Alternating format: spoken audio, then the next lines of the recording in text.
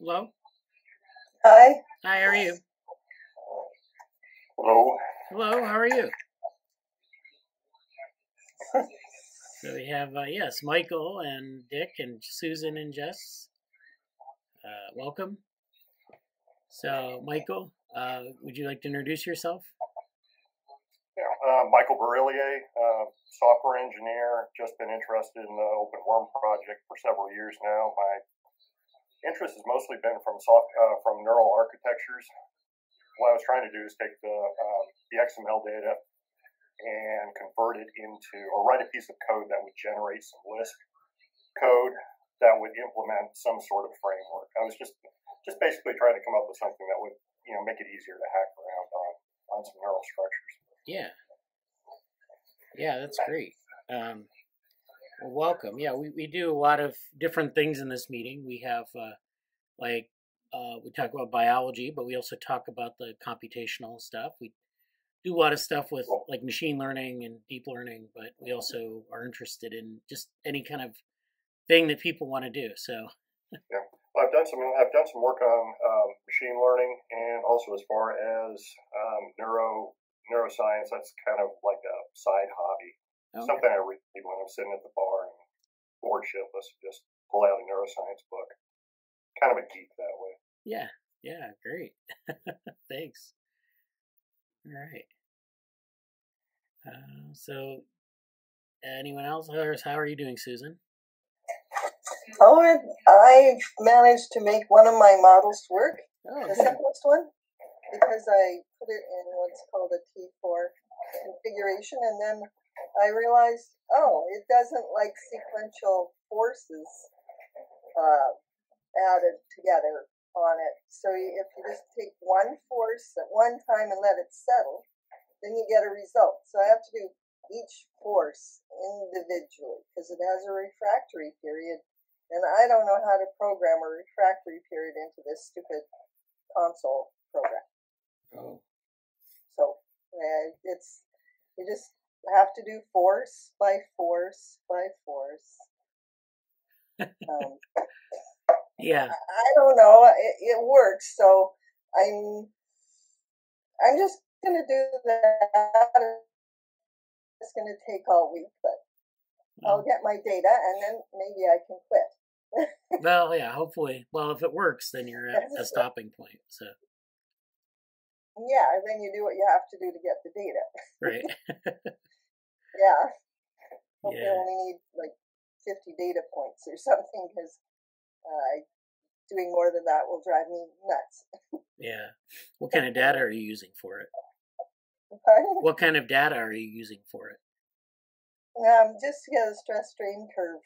Okay. For a, a tensegrity that I built that has a top part that's acting like the actomyosin ring that's in the top part of epithelial epithelial cells. Pardon me.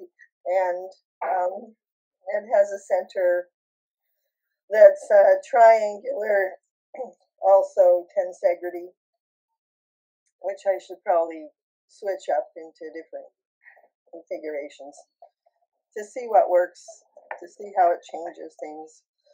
And uh, it, thank goodness it's only a three cell um, construct of tissue. Oh, good. Probably should do like a seven cell one, but oh, probably not to start. I mean, I would get the three cell working and then move up. Yeah, and then then I'd have some data and I'd have a model and things would go better. Yeah. but yeah, it, it needs a settling period before it um, before it'll give me data. Otherwise, it just bounces, I guess, all over the place and goes doesn't compute. Or that's not what it says, but yeah. not resolved. Well, yeah. Well, at least you got it working. Took a while. yeah. Oh, well, it took me a while to realize that. Oh, yeah, that works. Okay, so let's do the the series. Well, the series doesn't work, and I'm going. Oh, okay. Well, let's try uh, a uh, hundred and two hundred separately, and then it worked. So, wow. Yeah.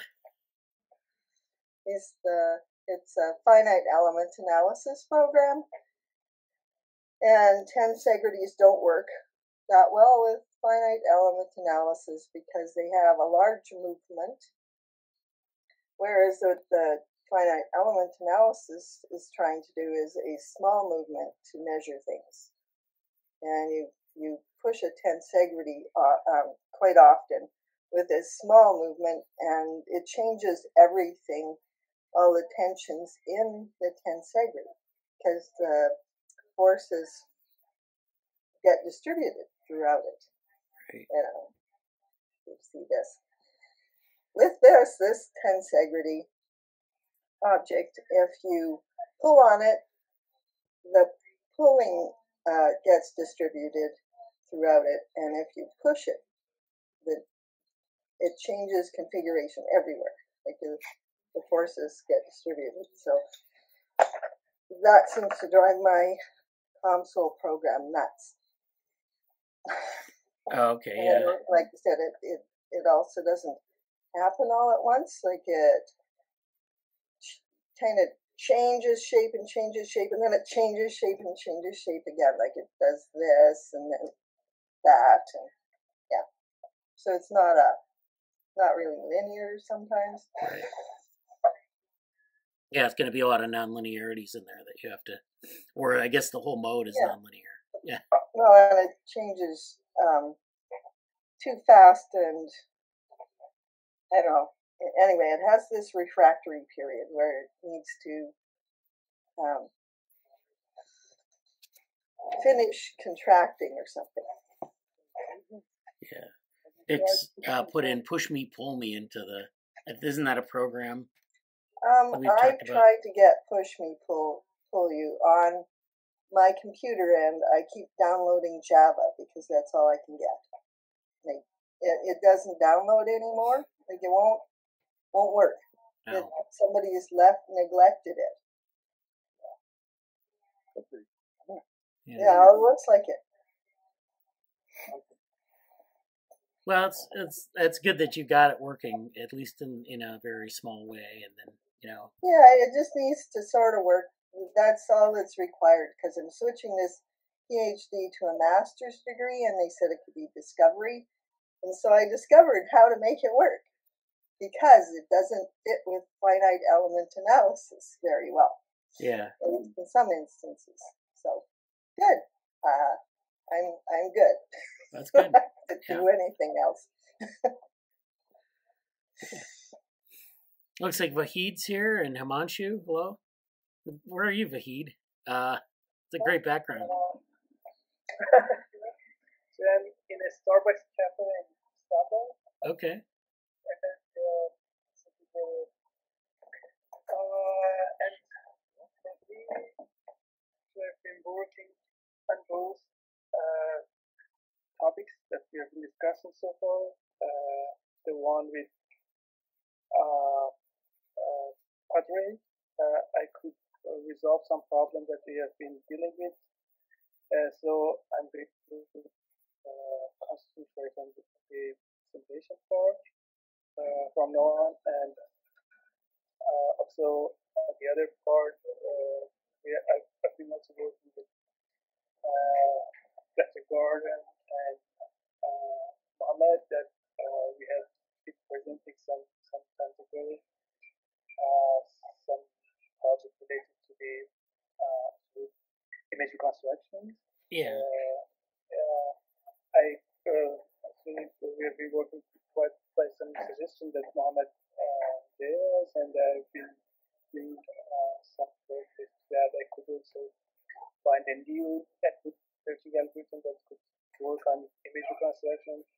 Where I could complete it as well, and yeah, maybe uh, maybe in future we could have together. Okay.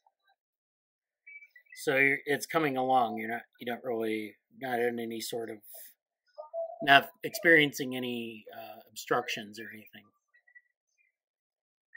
Uh, for for what Sorry, I didn't get- Well, you're, you're, you're everything's going smoothly. You're not having any problems. Uh, yeah, but uh, I'm trying not to. Yeah, have some issues know maybe related to the company's problems. Uh, but try to focus on others. Okay.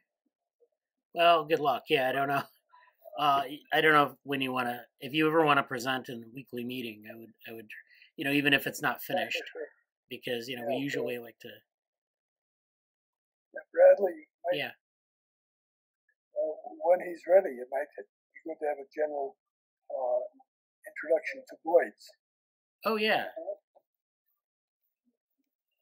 Like so, like yeah, You know, what he's trying to do is use Boids for good photography. right. Yeah, Yeah, for sure. Maybe next week. yeah. Oh, that'd be come. I mean, Yeah. Yeah, we'll check Well, with you. Mohammed seems to be the expert on Boids. Oh yeah. Okay. Uh yeah.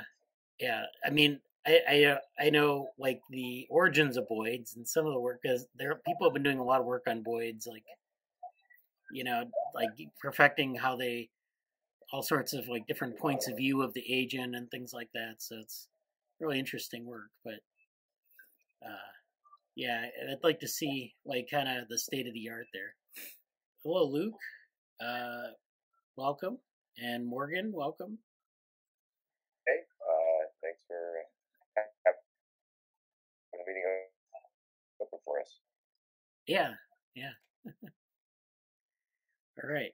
Uh, let's see. Um, okay. So yeah, we're, we'll talk a little bit today about some. Uh, I have a couple papers on simulations and large language models being used for biology. I also wanted to go over. I have the slides on. Um, uh, yeah, Michael asked Susan a question in the chat. I also have some slides on the 10th anniversary of Devo Worm, and I wanted to look. Uh, we wanted to go through them and see if I missed anything. So I'll go through kind of the slides that I have, and I don't know if I missed anything. And it may be something that Dick could refresh my memory on, or maybe other people if I'm missing something that is, you know, pretty obvious, but I, I missed it.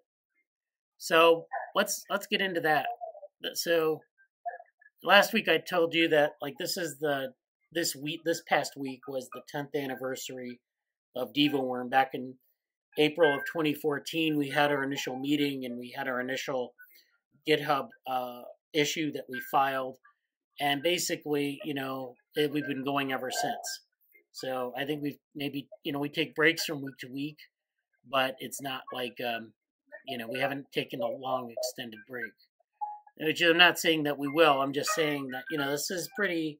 We've been going for ten years, so it's like we got a lot of under our belt, and you'll see that in the slides.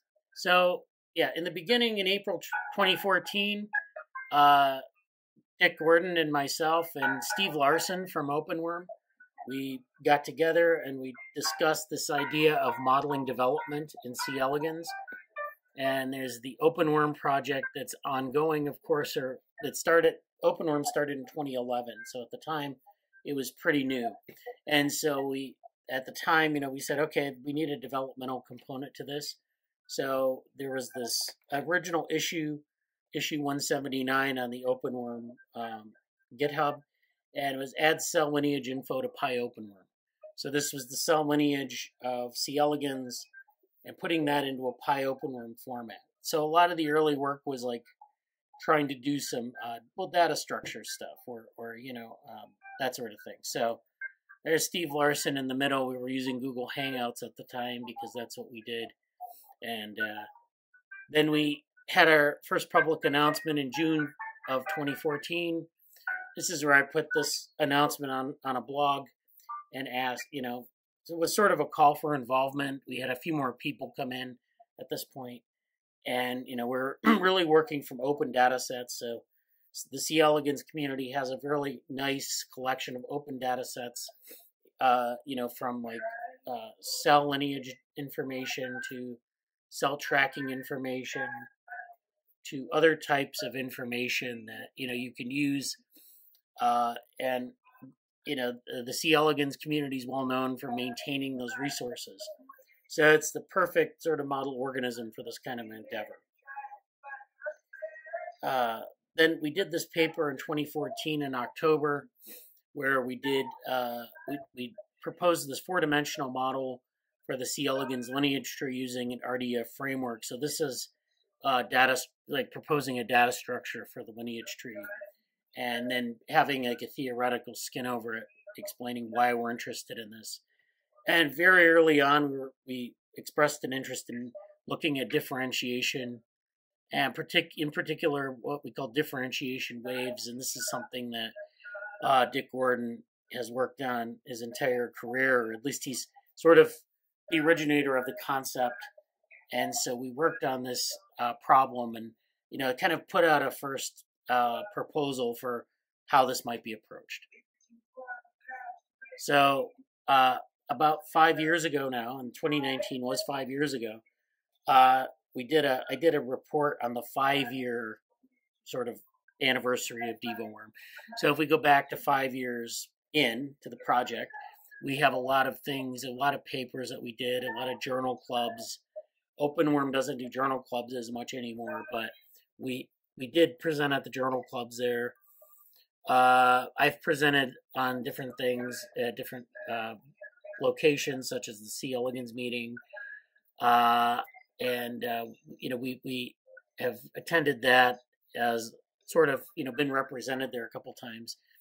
Uh, we've published a number of papers, uh, and you know, so we've we've really kind of had been productive over that five year period, and so this is at the five year point, kind of where we were. Um, and so, yeah, we've had a number of logos throughout the years. You know, from the early days of the project, we're just kind of we made up a logo to different logos for some of their side projects, like the Devo Learn platform. Uh, and this is uh, software, open source software we've been working on over the last few years. And so, you know, we've, we've got a lot of tentacles in a lot of places at this point.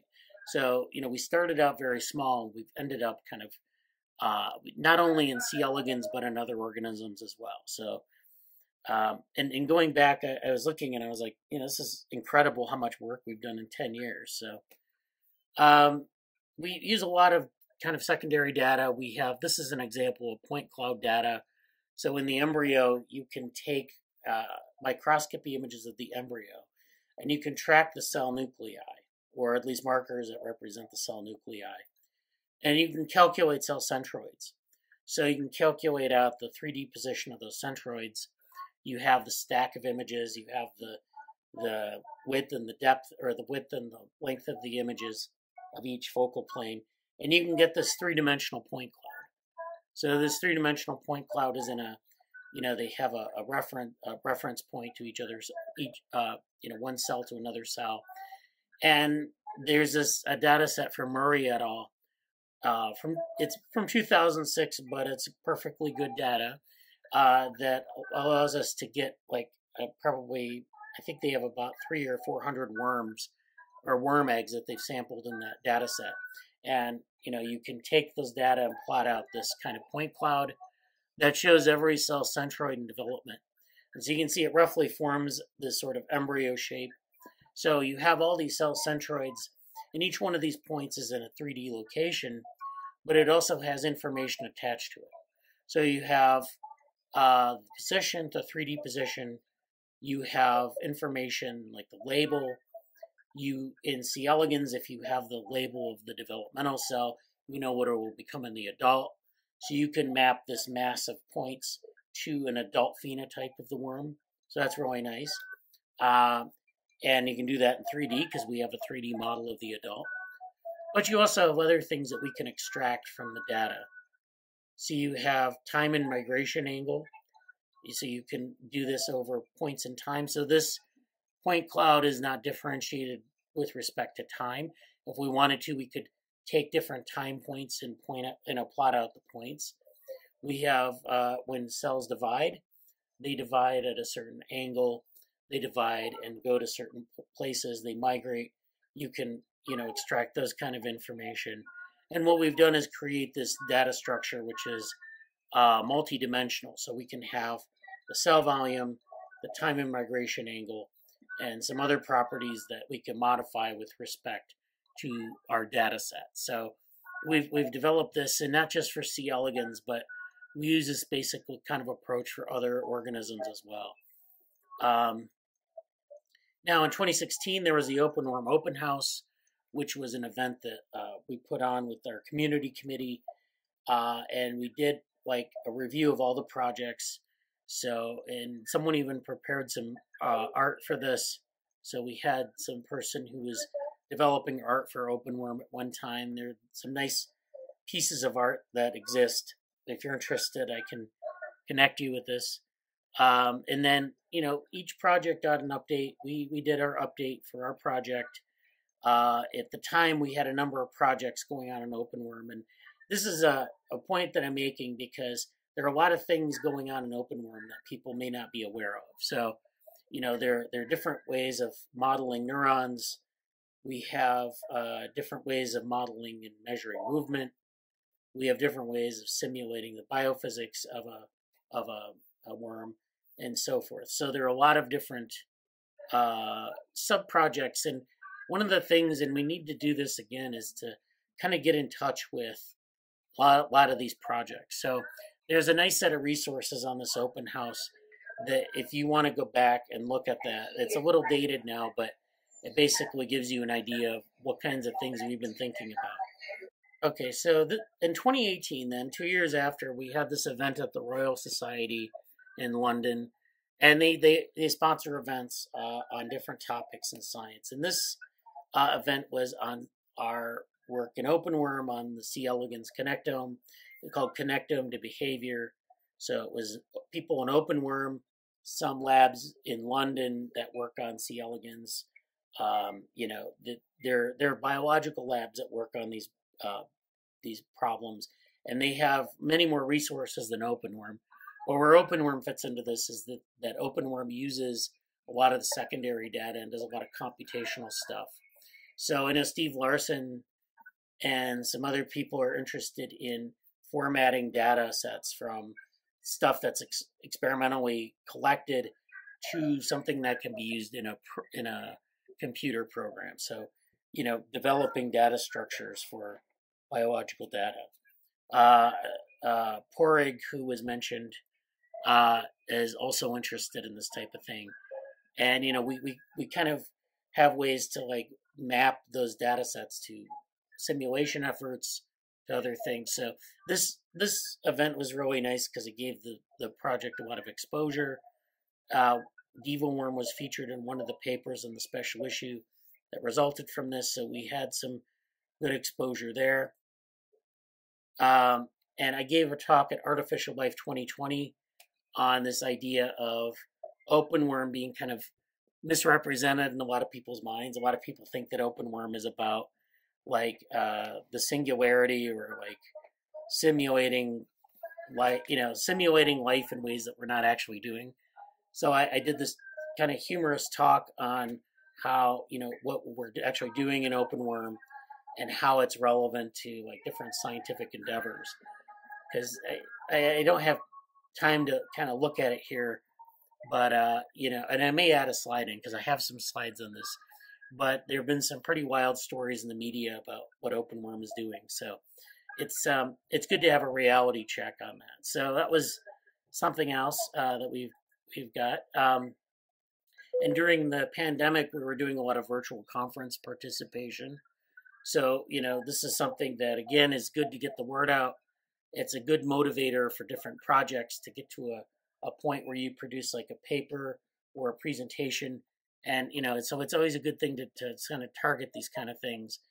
And so we've done a lot of those in the history of the project. We have also done a lot of things with respect to different topics. So we've done things uh, with uh, cellular automata and this is morphozoic and this is something that's open source. Uh, you know it's, it's a, a platform that uh, tom portegys uh, sort of developed on his own, but we were using it in the project as a way to model uh, morphogenesis. Uh, we've had other things like we've worked with diatoms. uh, which are a different type of model organism. We worked on developmental connectomes, uh, machine learning, uh, differentiation waves in trees, and those sorts of theoretical uh, topics, and then developmental data science, where we've done data science, data analysis with developmental data, as I showed with that slide with the point cloud. So, you know, we've done at different points in the project, we focused on these different uh, topics, but we've always kind of maintained a lot of this stuff. And I, you know, I find this is a good opportunity to go back and look at what, you know, like if we stopped using Morphozoic, well, could we use it again? Could we do things with it? You know, just to make sure we don't forget about things and they don't get swept under the rug. So the point here is there are a lot of things that we've done. We have a lot of resources. And, you know, if people are interested in working on something, even if it's something we worked on a long time ago, we can pick it up and revisit it and come back to it. So we've worked with a lot of uh, model organisms. We've worked with a surprising number of organisms. Uh, we've worked with uh, uh zebrafish data, uh, this organism that is the sea squirt, uh, worked with diatoms, and of course nematodes. We've done a little bit of work with Drosophila, with mouse data, with theoretical data and, and simulation, and then comparative development where we've compared different uh, embryo, you know, the embryos of different species. So in one paper, we did work with nematodes and with sea squirts and comparing those embryos. So we've done a lot of work, and I was surprised to see this wide variety of organisms here represented. Um, so again, you know, we're interested in kind of not just kind of these uh, questions about data and computation, but actually, you know, maybe like comparative biology and getting that fundamental um, aspect. You forgot the salamanders. Oh, okay. I'll put those in. Yeah. And so, yeah, we've done a lot of things with things like differentiation, trees, and mosaic development. As is a slide just describing one of our papers on this, where, you know, it was basically a reanalysis of the lineage tree, where we had to take the tree and sort it, every node of the tree, uh, by a different criterion than what is typically done in a lineage tree, and then be able to take that and compare it across species and say different things about it. And there are theoretical reasons why we would do it this way. So, you know, a lot of the original C. elegans lineage tree was basically organized uh, anterior to posterior. And if you know the history of this, it was done by hand. So, uh, you know, Sulston, who was the person who developed or mapped out that tree, sat at, a, at his desk and he drew it out by hand. And you know that that has a lot of utility, but there are other kinds of questions you can ask and different ways you can organize the data that are also very informative. Um, and then this is a differentiation tree for sea squirt as well. So this is our general methodology for these kind of what we call mosaic development organisms, where they um, they don't have like uh, these mass tissues, you know, like where you have a bunch of cells in a tissue, their differentiation occurs on a cell by cell basis. And so in sea squirt, you see this early in its development, and we have these kind of uh, trees where we can, you know, kind of do some, uh, we can model it, we can render it, classify the different cells, the different nodes, and then map that to the uh, to the phenotype, which you can see here. And so we, we talked a little bit about that in this paper. Um, and so, you know, we've been working on a bunch of things. We've also been working on cellular automata for uh, looking at development and pattern formation.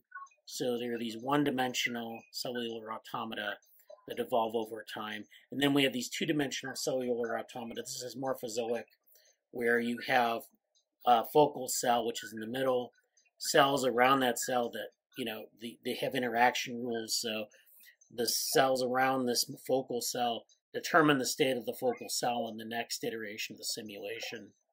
And then in Morphozoic, these are nested, so you can actually look at these kind of global effects. And reason I bring all this about cellular automata up is because there's so much here that we've not done.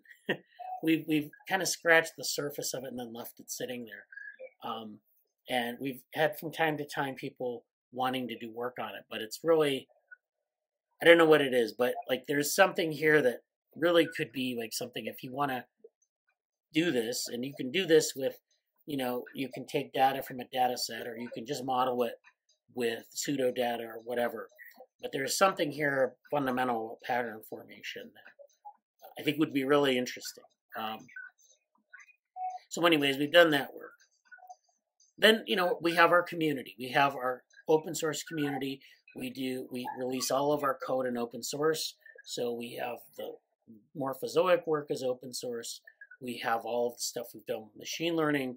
That's all open source. And so we have this nice community uh, where we have different resources, our website, our GitHub uh, site, which has a number of data sets. Uh, we have a, a, presence on GitHub and Hugging Face. Hugging Face is where we host our machine learning models. And then we have our meeting spaces, Jitsi, and also on YouTube, where we do a lot of things as well. And, you know, this is sort of semi independent of the OpenWorm community because in, in our community, we're kind of doing the developmental stuff in open OpenWorm, but also doing other things. So we have our own presence in, in on YouTube, for example, where OpenWorm has a channel and we have a channel, and we do these things where we've done a lot of things over 10 years I used to host an open coffee hour. uh, and then we also have, you know, some of our work, posters, talks, uh, special things that we do. And so there's a lot here. If you want to go to the YouTube channel, it's just DevoWorm on YouTube. And you, you know, there's a lot of content there. We used to have talks by people.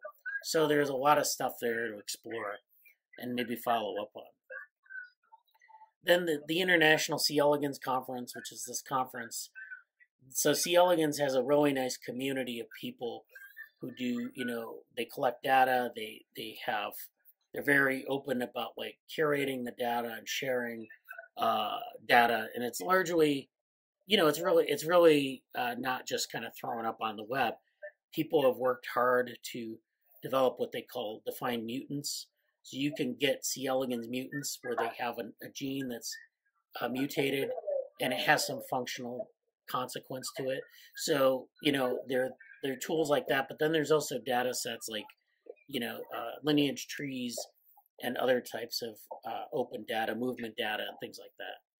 And so we go to this conference. We have a presence there, and the last well, we were there in 2015. I was there. We used to host it in Los Angeles, but now they've moved over to Europe. They've moved over to Edinburgh, and that's where Padraig is always the person going there because that's sort of where he's from, you know. And so uh, in 21 and 23, we did a poster, and uh, DevoWorm was in that poster. So we have a very small space to kind of advertise what we're doing, but uh, you know we, we get exposure in that community. Then of course we do our our, our summer of code stuff. So we have our many, many Summer of Code interns that we've had since 2017, working on a variety of topics. And the way we approach uh, Summer of Code is we, you know, we take a project one year, people, you know, dive into a topic, they propose a topic, they do the work, we, you know, develop some code. It's usually some sort of application. And then the next year we follow up on that project and, you know, kind of pick up where we left off and get new people in. So we've had quite a few uh, interns over this over the course of this program. It's been very successful for us in developing a lot of the machine learning stuff that we're doing, which I haven't even talked about in here. I'm not going to talk about that too much, but I think it's worth pointing out. And then pointing out that, like, also, if you're one of these people who participates in GSOC, you come into our community, you learn about biology and computation and those kind of linkages.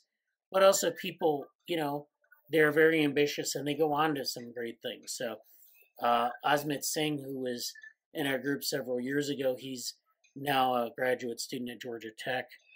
Uh, Mayukh Deb, who's been in our group uh, quite a while, off and on, he's he's been doing some great things. He wrote an article in the Gradient, which is a machine learning blog, uh, journal kind of thing and so you know there you can see them around uh, beyond DevoWorm. So it's great to see people doing stuff like that. Um, and so yeah, we in in 2019 we had this course Devo Learn ML. So there's an educational component here that we focus on, And we did this 16 week course, which is all the materials for this are online, where we, we did a series of talks on different topics in machine learning. So um, these are all kind of available.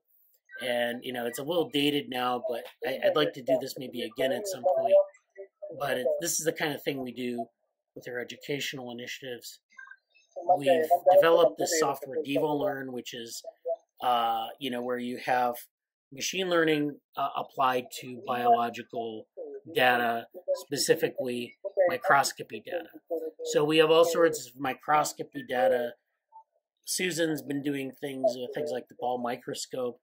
We have data sets that we can mine to get these kind of, uh, we, we are interested in segmentation of data, but we're also interested in building higher level models from the segmentation maps. So, you know, we have to deal with all sorts of uh, issues with input data, such as cleaning it up, defining what we want to get out of it, and then building higher level models. And so, in doing this, we're building this pipeline of different tools, and you know, it's open source, so anyone can contribute to it.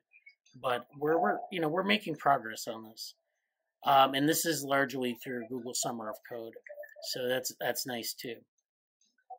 We've developed things like the pre-trained segmentation model, the embryo generator model, and the lineage population model. These are all kind of parts of Devo Learn, and you know they use different techniques. So I'm not going to get into the techniques, but um, they're really you know they're forks of things like GANs and the segment anything model from Meta, and so they're very state of the art. But you know they're you know there's a lot there to kind of if people want to participate or contribute to this, it's it's open source, so it's something we can do. Um, yeah, so we have a presence on uh, GitHub, of course. We have a for Devo Worm, which is like where we have some of our data sets, some of our legacy things. We also have Devo Learn, which is a, a separate organization where we have this software. And then we have, you know, but the problem is, is we have a lot of technical debt. And this happens over the course of 10 years where you, you know, have different. Like I showed you that DevoWorm ML example. There's a it's it's kind of dated now. So you know technology changes at such a pace, both in like computational science and in biological science, that there are all sorts of new data sets, there are new techniques, there's new technology, and we need we you know we struggle to keep up. Everyone does, and so when we do something, sometimes it's not the state of the art. Sometimes our documentation isn't in sync with things. So there's a lot of technical debt in DevoWorm. Um, and one of the things we do is we have this read the docs. So this is one piece of documentation we have, which is basically hasn't been updated since 2018. These resources on read the docs and hasn't been updated since 2018. And you know we haven't really used it that much, but the point is is that you know we have resources that people will come across coming into our community that are not you know in sync with things. So we recognize that, and it's always something. It's an interesting aside for the ten years of doing this that you'll have things like this in a project, and so it's not to say that we need to like. I guess we can tighten things up, but it's also kind of interesting to go back and look at where we've kind of gone and maybe revisit or maybe align ourselves with things that happened in the past, like these categories that are built in this uh, in this scheme. You know, maybe our work is better organized this way, and we've just not organized it that way in a while. Or, you know, changing this to reflect what we're doing now. There are different ways you can do this. This is more of an open source curiosity, but it's an interesting point when you're going over 10 years of work to see this uh, in action. So we, you know, sometimes we focus on open questions.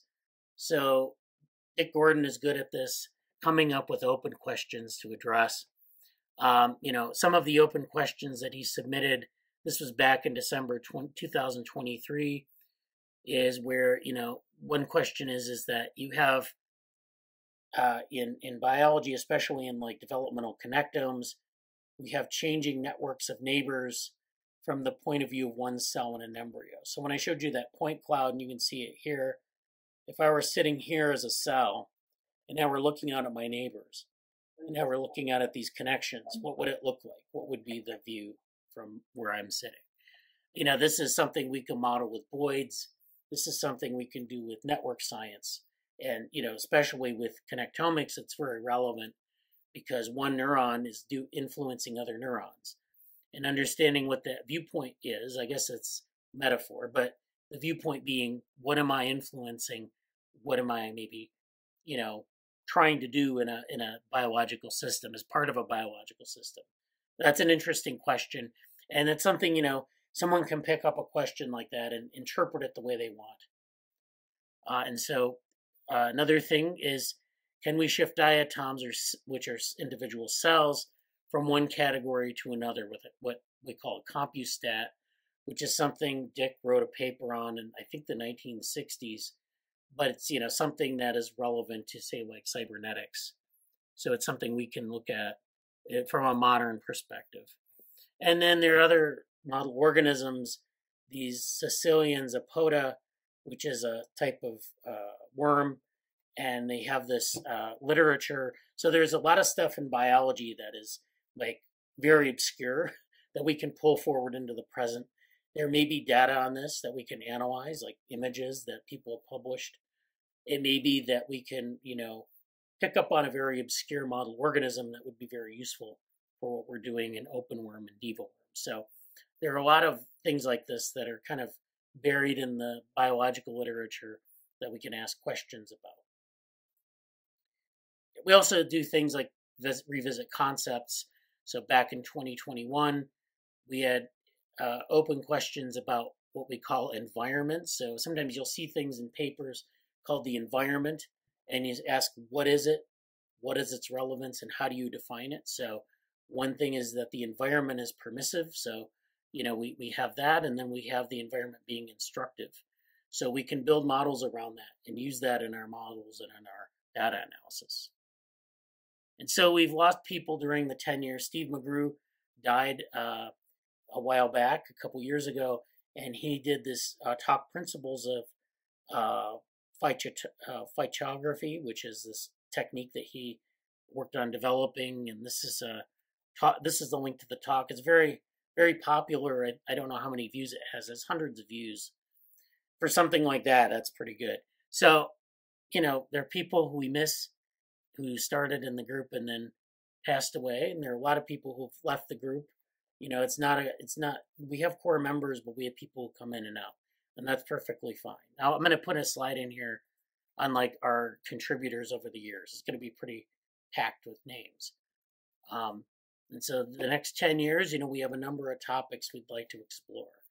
And so I'm going to maybe add a few more things to this or, you know, modify it, but that's basically the talk. You know, I went over a lot of stuff there. And so, you know, that's, I think I'm going to do that long version of this on YouTube and, and release a video on this so we can get a handle on where we've been in our 10 years. So, any comments or questions? I don't know if Dick had any. I know Dick wanted to go over these. It's great to, great to hear that. Oh, was that Susan? Oh, just I'm popping in and out because it keeps freezing. Oh, okay. I'll just be stubborn and keep coming back in. Okay. well, anyways, yeah, I think that'll be the way I'll, I'll present it. I don't know if I missed anything. Uh, you know, obviously there's just so much to go over. It's, but I think that's good, you know, and then like, you know, I, I hope that people can get, you know, say, okay, I, I, I identify with that, or that's something I want to do, or this is something that I can't believe we did. so it's always good stuff. Okay, yeah. So we had this whole muting thing. Uh, now, Jess in the chat here, so I'm going through the chat. Uh, so Michael asked Susan about her uh, project. He said, what about a force-directed graph implementation? And then Susan said, I'm looking at the mechanical properties of a model of epithelial tissue. So, and just, you know, uh, that, so Susan's been working on this model of something called tensegrity, which is like super stability. And so she's working on like cells in, in epithelial sheets. So it's not really something you see in C. elegans as much, but the idea is that you have these cell populations, they're hyperstable under uh, forces during development and that sort of thing. So there, there are a lot of methods you could try on that. The there's a literature on modeling tensegrity, but it's like people are approaching it kind of, you know, uh, they do a lot of things with matrices and uh, accounting for different forces, and it's not as advanced as you would like, actually. It's um, there's even they even get into crystallography to describe the where the model is. Like parts of the model. Yeah. And yes, definitely heavily into linear algebra, but it's um, deeper into linear algebra than my um, advisor, who's an electrical engineering prof and known for his linear algebra. Yeah expertise. Yeah. So it goes beyond something. Um, and it gets into mechanics, and I'll eventually sort some of it out. But I've got a couple of books and a nice paper or two on the mathematics of tensegrity, and I can only read so far into them. Like I'm into the third chapter in the book, and I'm starting to not understand it. And I have part two of the series of papers, and I don't understand that. Although it's giving me nice keywords, so I should be able to look that up. If you're interested, I can give a presentation on like the math of tensegrity because it's it's beyond me. yeah. Oh, that would be great. I'm yeah. an engineer. It's beyond me. I have to study some more yeah, it's like, uh, yeah, it's not obvious what they're doing, and it, I mean, they could use better models. I think definitely. It's just kind of like this is a network, and this is the these are the forces, and that's. You know, um, I'll uh, I'll post this paper, the two part paper. The first part was excellent, and it helped me out. I can actually end my study of this as a master's degree using just part one. But part it's part two, like I said, that's giving me issues. So I'll try and type that in there and hope that my computer decides to work. Yeah.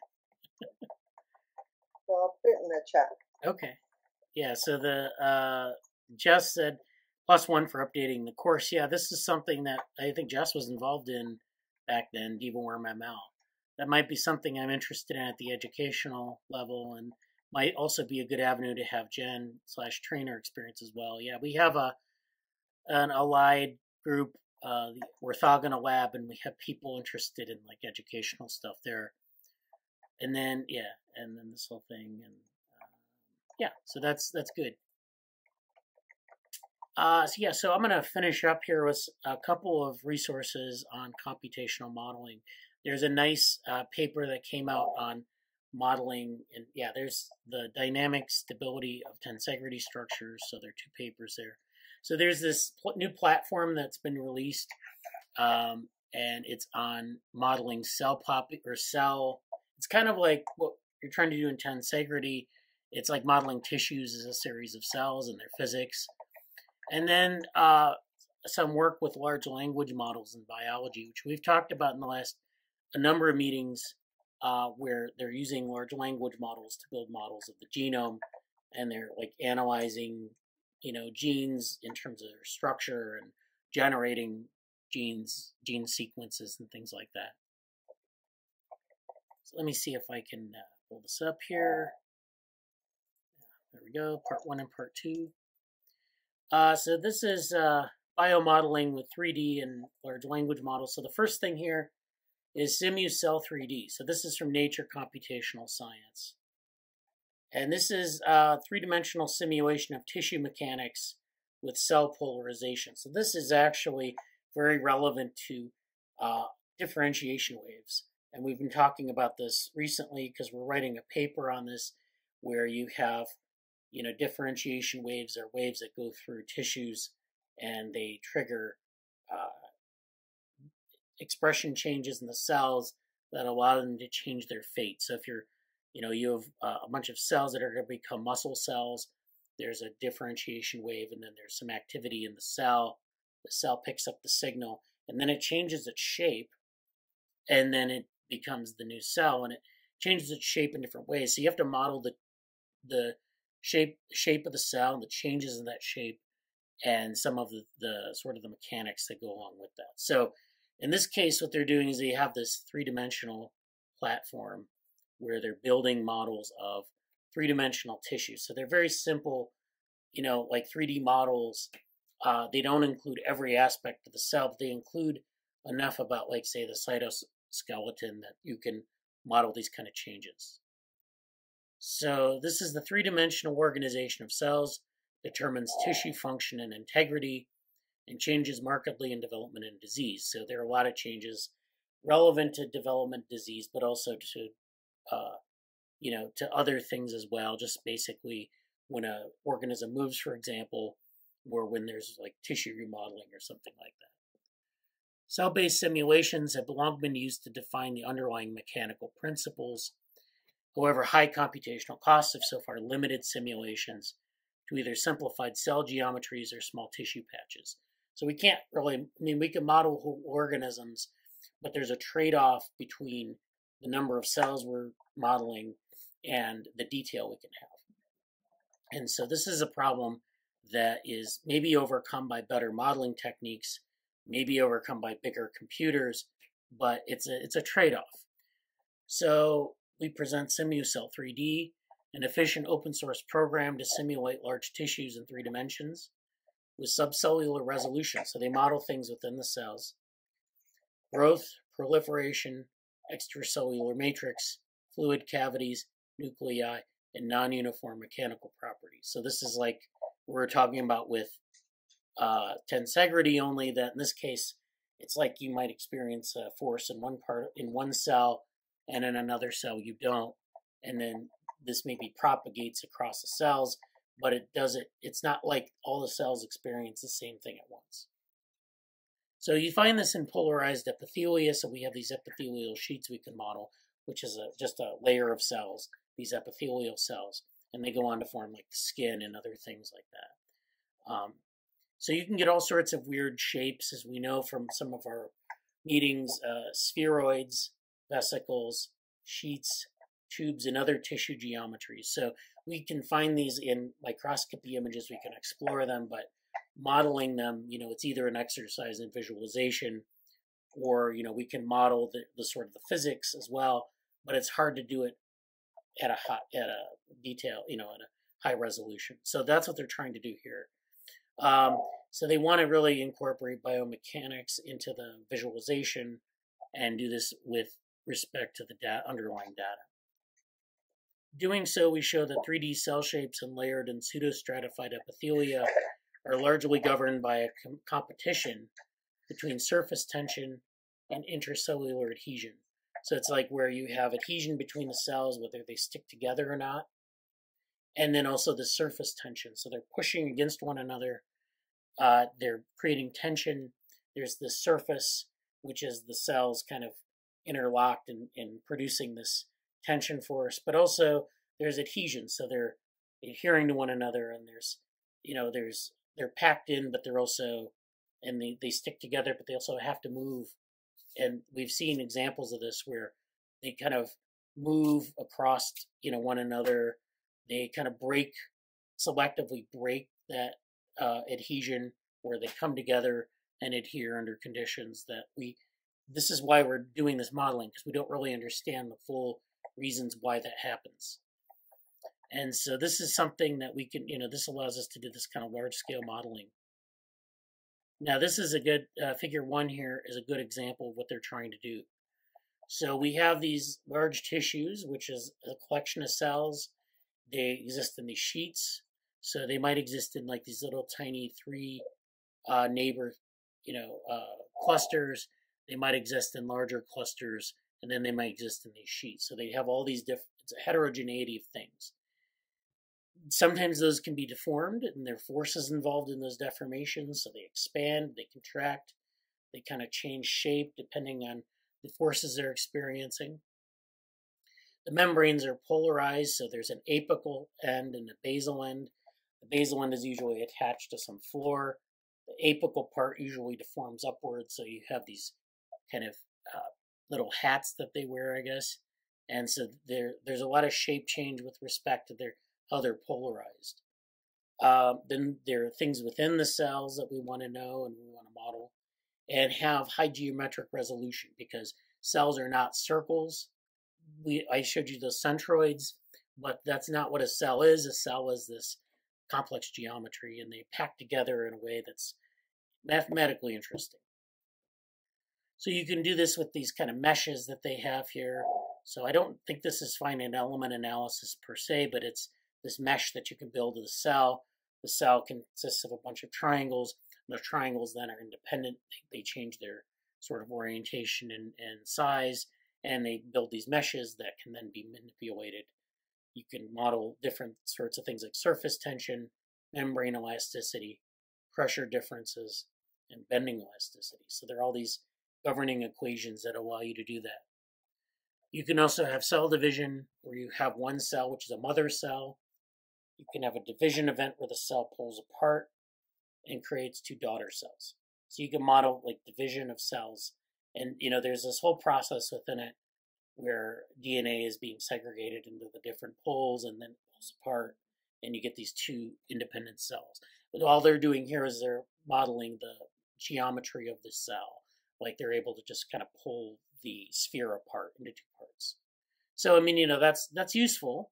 It doesn't describe the whole process, but it's useful. And so they show the computation time here. There's CellSim 3D, which is another platform, SimuCell 3D, and IAS. So I guess these are different platforms. This is not uh, uh, CompuCell 3D. They don't show that, and they know that like Morgan is interested in CompuCell 3D. We've done stuff with CompuCell 3D in the past, but that's that's a different type of model. I think it's, and I don't know if that's what we call a cellular Potts model. So I don't think that's what they're doing here. So, but it's a it's a a, a similar approach. And then finally, we have this um, uh, these different types of structures that we can model. We have a vesicle with a lumen. We have a spheroid with an extracellular matrix around it in, the deep red. We have different nuclei within the cell, so we can model that in a sheet of cells. So this is a an epithelial sheet with the nuclei inside. So you can model like a sheet and its dynamics, but also what's going on inside the cell. And then you have these tubes, which you see with neural tube in development, basically where a sheet of cells rolls up and the ends join together and form this tube. And a lot of times that that process is dynamic. So you might want to know, for example, how you go from a sheet to a tube and you want to model that continuously. You don't really want to model the endpoints because that's not the interesting part of that. The interesting part of it is how it kind of moves together and what are the physics. So this is a nice approach. Now they have a GitHub or they have a GitLab repository. So this is the open source aspect of this paper this is uh, run out of the uh, run, I guess Runser SimuCell 3D. I don't know what lab this is. They're out of uh, uh, Zurich, I think. And so they're doing this. This is their repo. Uh, I think you can like clone it and run the model. Uh, I think on your computer they have a Docker file, so they have a they run it on Docker. The README here is basically showing this. This is a C++ cell-based simulation framework. You can install it on Linux or Windows. You know, just basically uh, follow the instructions. Uh, you can do, I guess you can run it in Docker if you would like, or you can launch a simulation. Um, and yeah, the, and it basically creates a number of output files that we can then check and you know use that in, in the way that you want to use it. So it gives you, uh, I think, some visualization files a CSV file where it gives you simulation statistics like cell area and volume. So this is something that we create with um, in in DevoLearn from like raw microscopy data, but you can actually run a simulation and then get the same information out of this. But this has now been simulated. Uh, and then, of course, we have these different meshes that we can do. We can visualize this using ParaView. So it produces these meshes and these output data in a CSV file. You can use ParaView then to visualize it. So I don't think it visualizes it within the software, but this is you know this is good. This is the kind of software that we have to simulate cells and and development. So I don't know how useful this would be for people, but uh, definitely it's something to look into more if you're interested. And we have a bunch of things in the chat here. So um, yeah, so we have the first of all the two uh, tensegrity papers from Susan. Uh, said a full-fledged course catered towards computational developmental biology with AIML will have some novelty and sounds interesting. That was with respect to the DevoWorm ML um, course. Uh, Susan also dropped another link to tensegrity structures, the book, which is uh, Zhang and Ohsaki, which we actually I think ran through because they give some MATLAB code in that book on tensegrity. So that's it's it's largely matrix algebra, so it's not too difficult. But of course, matrix algebra is not maybe not the best way to model tensegrity, but they give some code in that book. And then this T1 transitions thing. Jess has a hashtag cells are not circles. Uh, Susan gives another citation here. How dynamic pre-stress governs the shape of living systems from the subcellular to tissue scale. That's from the Royal Society. This is, yeah, this, this paper is, I guess, a paper on physics of tensegrity and why we're interested in it. Because when we see these models in 3D, we're modeling the physics sort of of like as they might be encountered in a process.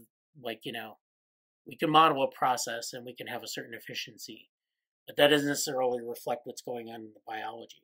There's a lot going on in the biology that, you know, if you have, say, like a pre stress where you have a certain structure, it can give you uh, stability long term, or, you know, it can have certain properties that we're not really modeling. So, yeah, this is all good stuff. So, again, yeah, there are a lot, there are a number of platforms for 3D modeling of cells and cell populations. And this is something that, again, is a long term interest of the group. And I should also put that in the, in the, 10th anniversary talk as well because I, I I didn't think about like you know bringing that back up because we haven't really done anything with CompuCell 3D so much as we'd like. And so, but that's interesting. We should talk. We should revisit that. Okay. Let me. Uh, oh, there's Hussain. Hello, Hussain. Oops.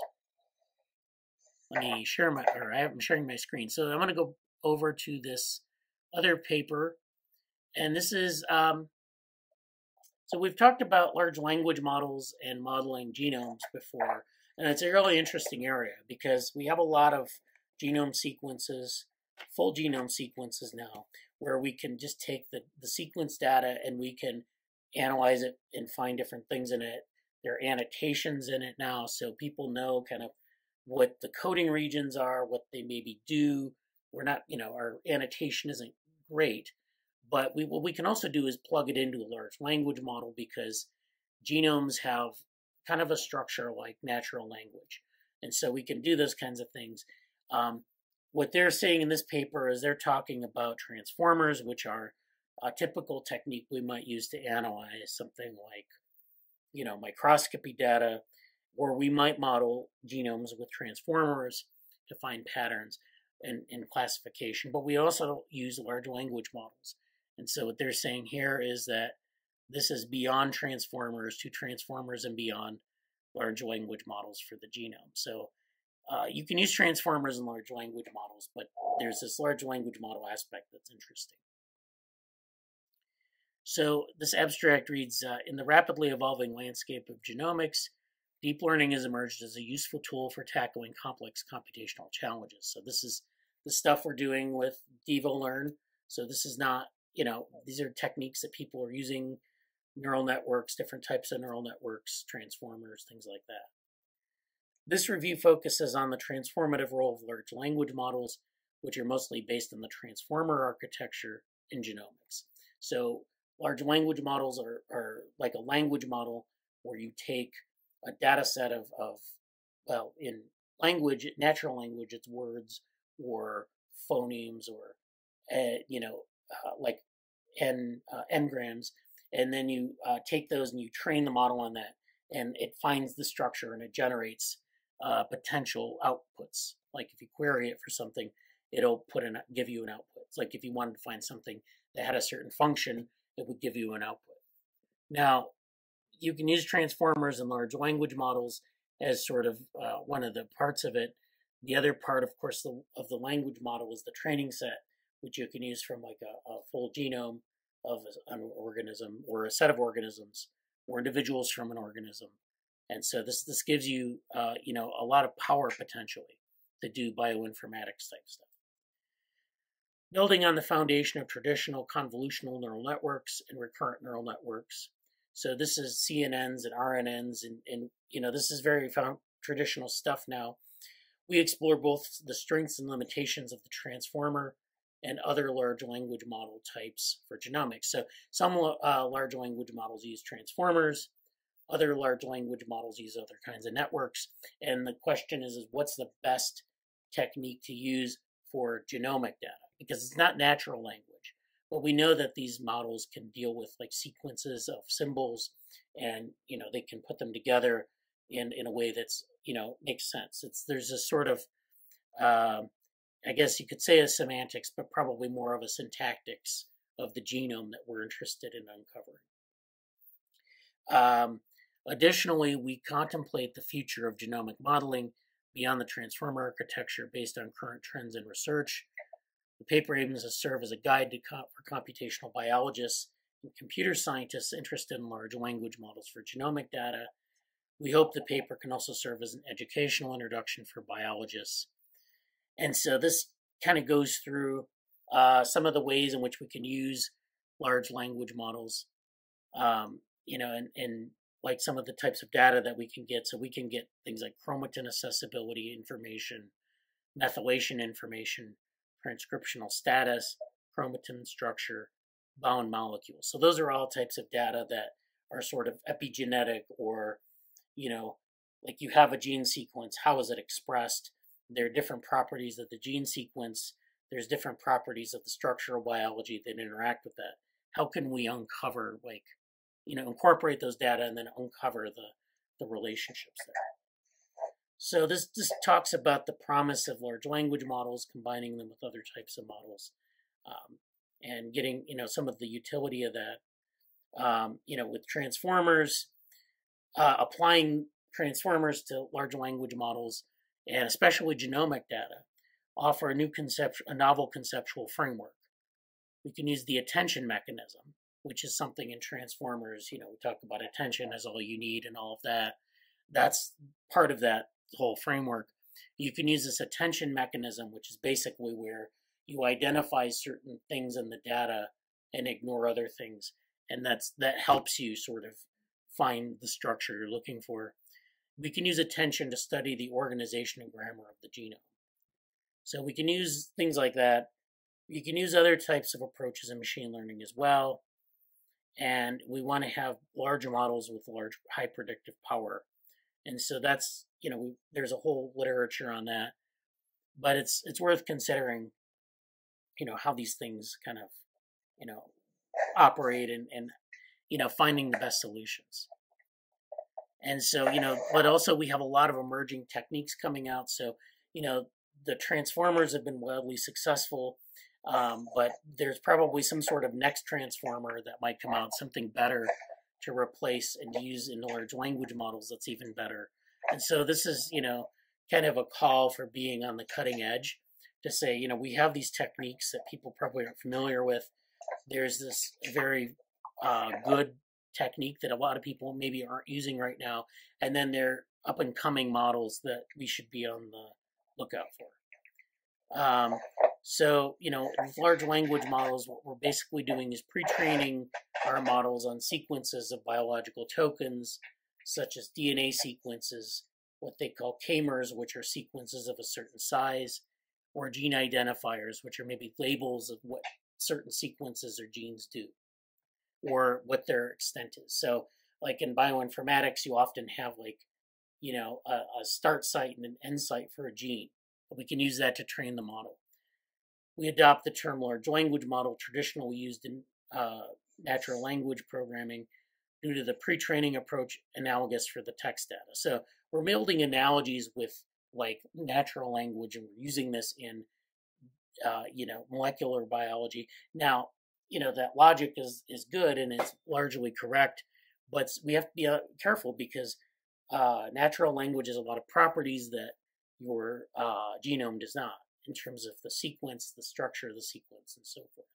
So this is a caveat that you know is something that they kind of talk about here, but so they talk about in this paper, they talk about an overview of the transformer architecture. They talk about this hyena model. Now we've talked about the hyena model in the past. This is a model that's been released specifically for analyzing DNA and genomes. This is an implementation of a large language model, and again, it's it's specialized, trained on on molecular data, not on natural language. So it's, it's uh, you know, this is something that I don't have the link right now, but if you look up DNA and Hyena or Hyena LLM, you'll you'll find the link to that that software. I don't know if it's open source. I can't remember how much of it's open source, but it's something that is uh, definitely uh, being developed, and you know, it's it's like a very fast moving area. Uh, you know, they, they then they talk about different deep learning architectures that people have used in bioinformatics. There have been some novel architectures. They talk specifically about the transformer hybrid models, which is where you use a transformer and the attention mechanism to predict assay data, and then applying transformer based large language models and other types of large language models to the genome. Now, I'm not an expert on large language models, but I noticed that, like, if you go to Hugging Face, there are a lot of different open source models. And those models sometimes are general, but sometimes they're trained on specific data sets. The techniques that they use are specialized to analyze specific types of data. And so it's it's you know it's interesting how this area has kind of exploded in like the last year. It, in like you know what can be done how people are doing it. So there's a lot here that you know is is kind of out there on the cutting edge. So you know it's something that at this point you know just simply kind of reviewing the different types of techniques that people are using and evaluating them is probably useful. Um, and I don't have any clue as to how much computational, uh, what kind of computational resources you'll need. I know you can run some large language models on like a Mac Silicon but you know you probably will need some sort of like you know AWS time for to run them well. So yeah, they give like a nice glossary of terms here if you're interested in applying large language models and what you know what how transformers work and all this. They have all these different terms that are used, um, and it's yeah, it's it's it's quite involved. Um, but this is basically the approach they're using. So yeah, it's a nice little paper again revisiting large language models and their applicability to like the genome which isn't cell modeling but we have to be able to find patterns in the genome to say something about how it's related to proteins and the phenotype so yeah that's that's all i have on that i don't know if people had anything any any comments on that paper or on the other paper as well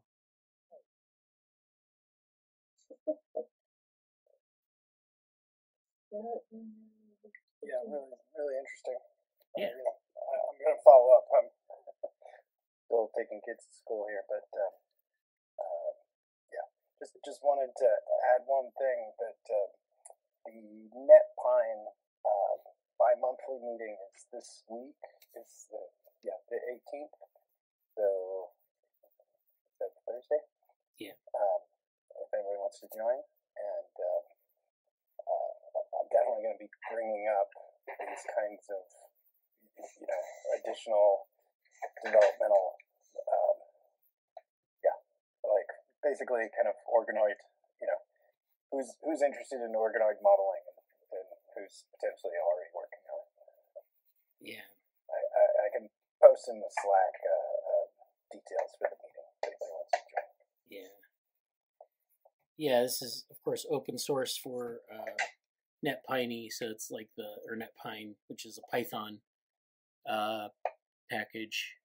and I, I can't remember what it's what what it does. What It, it, so so um, it's kind of like uh, Bill Lytton um, and and others. I think he's passed the torch now to. Um, oh, I forget his name now. Sorry, it's it's. Uh, uh, uh, I'm blanking on it. Sorry, I'm in the car, but um, uh, it, it's a uh, kind of an extension of Neuron to to handle larger multicellular models or like larger, you know, area models.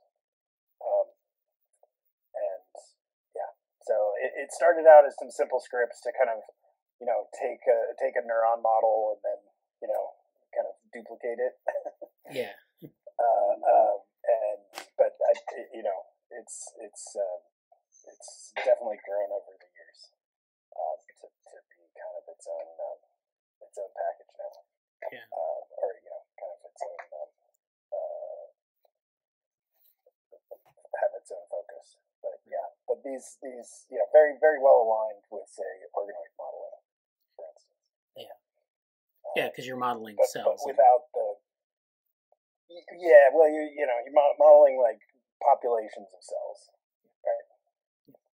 Um, and and yeah, what comes out of that dynamics, like the it it, it it strikes me as similar to the kind of stuff that Stephanie Jones is doing at Brown with the um, human neocortical solver.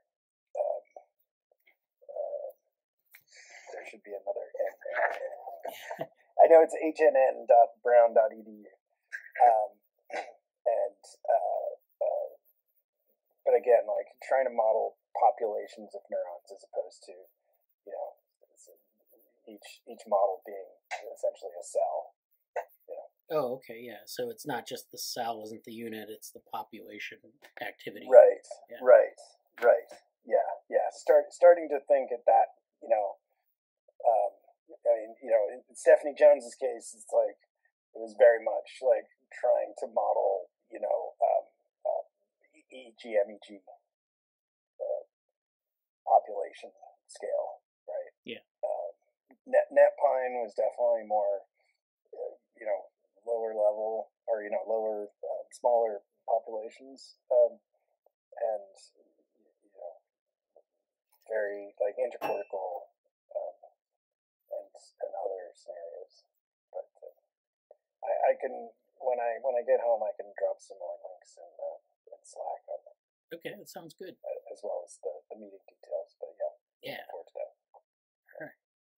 And looking forward to looking at those those uh, cellular papers. They, they sound like variants of kind of Morpheus and others. Yeah. Yeah, and it, with those kind of models, it's like imperative that they work. like you know, we've talked Yeah, about yeah. some of these uh, modeling software that like either very poorly maintained with respect to 2024, yes. or that they're very opaque and you don't know how to set up a model. That's always a problem because yeah, it's in the best way. The best kind of software for that is where it's very much like you can set up a model, maybe even visualized, set the parameters. It's very clear what you're doing when you make manipulations to the model because that's what you basically are interested in. And, you know, knowing what those outputs are going to do and mean and, you know, so This this can be a problem with academic software. yeah. okay. Well, that sounds great. Uh, thank you for attending, everyone. Uh, any other comments or questions before we go? I would say there's a problem with some commercial software too. Oh yeah, of course. yes, True, true. true. I've been dealing with COMSOL, and um, for some reason, when you get it through the academic institutions, there's no help desk. So I've been using Chat GPT as my help desk for COMSOL. so, like, needless to say, I've just about had enough. Yeah. Yeah, yeah, you know, you know, I think a lot of the excitement around ChatGPT is companies excited that they don't have to do support. ah, maybe that's it. Yes, definitely. Yeah. All right.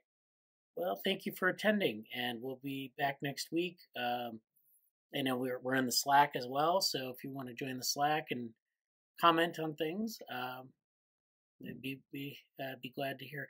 We're coming up on our decisions for GSOC, so you know that's coming up in the next few weeks. So at the beginning of May, we'll make announcements as to who we're having this summer for Google Summer of Code. Uh, we're still working on selection and finding slots, so hopefully the people will be uh, satisfied with that. And if you don't get selected for Google Summer of Code, you can still work on a project this summer because we're that's what we do in the group. Um, you know, we can maybe work on a project if you want to find funding somewhere else, or if you want to apply again next year. Those are all things that we can do. So don't feel bad if you don't get selected. It's it's it just really depends on what how many slots we can get, pretty much. Okay, thank you. Have a good week. Bye. Okay, so I'm going to talk about a topic that is close to what we were talking about with SimuCell 3D, and that is talking about cellular sheets and tissues as bio- soft materials.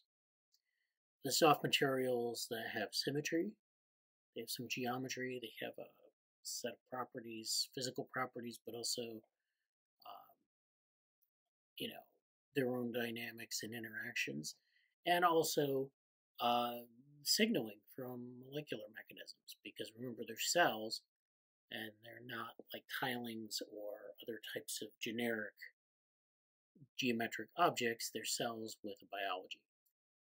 So why don't we get started here?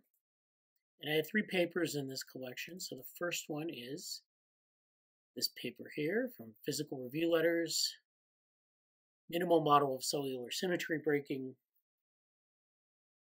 these are people from the Max Planck Institute. And so the abstract of this paper reads The cell cortex, a thin film of active material assembled below the cell membrane. So this is a, a specific structure within each cell called the cell cortex. It's a thin film of active material, so when we say active material, we mean that it responds to different physical stimuli and it responds in a way that is uh, dynamic. So we'll talk about the cell cortex in a little bit. We've talked about the uh, cell body and how it's not round. It has these, you know, it can conform to different kinds of shapes, and, and so the cell cortex is part of that. The cell cortex plays a key role in cell, cellular symmetry breaking processes, such as cell polarity establishment and cell division. So when we establish the polarity of a cell, we talked about uh, the basal and the apical end, or you know, it could be an anterior posterior orientation. Those are all aspects of cell polarity. And then cell division, of course, we talked about how you could model cell division as this process of a sphere being pinched in the middle, pulling each end apart, as you know, with a, a cell, a sphere that develops two poles, develops this asymmetry, and then breaks apart into two cells. And so there's a whole molec- suite of molecular transformations that occur. But if we want to just model the cell itself, uh, then we have this model of symmetry breaking. So let me show you what we're talking about here. So remember, recall from our uh, previous discussion on modeling cells, if we have the cell here, and we'll model it as a sphere, unfortunately, because we talked about how cells are not spheres, but for the sake of argument here, we'll do a spherical model. And so this is a cell, a sphere. This outside is the membrane. And we have the cortex underneath, which is a secondary layer. And then you have the uh, inside of the cell with the nucleus and the DNA in the nucleus, and of course, you have the inside of the cell, the cytoplasm and organelles and things like that. So that's what we're doing.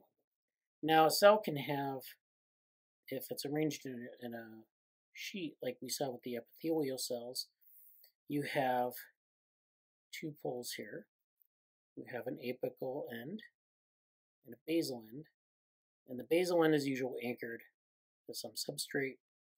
And this is very important in physics because what happens is, say I introduce a force to the cell from the left, and it can bend the cell with respect to the substrate.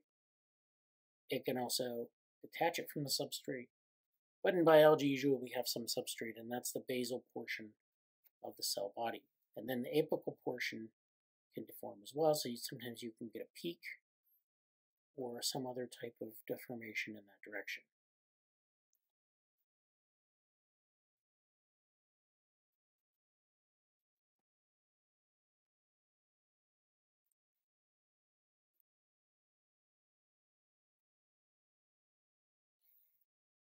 Now, when we're talking about cell division, we're usually talking about the spherical structure gets constricted along the central axis. And that central axis then serves to pinch the sphere together. So if you go to the next phase here, you get something like this where it's being pinched in the center and you start to get segregation of chromatin, the segregation of the components of the cytoplasm, and of course the cortex has to deform to conform to that sort of activity, these dynamics. Ultimately, this becomes two cells, each with their own cortex, cytoplasmic contents, and nuclei. And so they move apart Accordingly, these are the daughter cells that come from this initial cell division event here. So here are two daughter cells in context. So those are the kinds of asymmetries and symmetries we're talking about. There are these asymmetrical processes that can happen during sort of when a cell is anchored to a substrate. There are asymmetries that can happen when a cell is dividing things can segregate in completely, or you can have uh, daughter cells that are larger than other, you know, one daughter that's larger than another, or you can have other asymmetries that result from a cell not being sphere.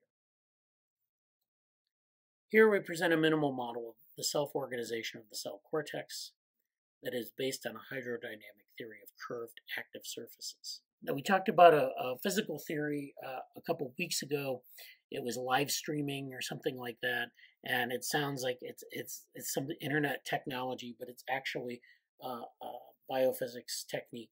Actually, it's not biophysics so much; it's it's material science. But this idea that you have this sort of active material, and that there are dynamics, and that it's involved in liquid in, in being transported through liquids, and in, indeed, uh, cells are very liquid. You know, we have to use liquid theories to describe some of these dynamics because cells are immersed in liquids. We're dealing with liquids and we're dealing with the cytoplasm. We're dealing with liquids when we're dealing with cells migrating and things like that. So hydrodynamics is the appropriate way to view that. And we're talking about curved active surfaces. Again, we talked about curvatures uh, previously in the group. We've talked about sort of how membranes are curved. And so a lot of things happen on these curves. If you look back at our cells, we have the sphere. And of course, I said cells are not spherical, but cells often have a curvature of some type. Even something like this cell here, which is this epithelial cell, it's sort of uh, like um, a rectangle that's upright, but of course it has curvature.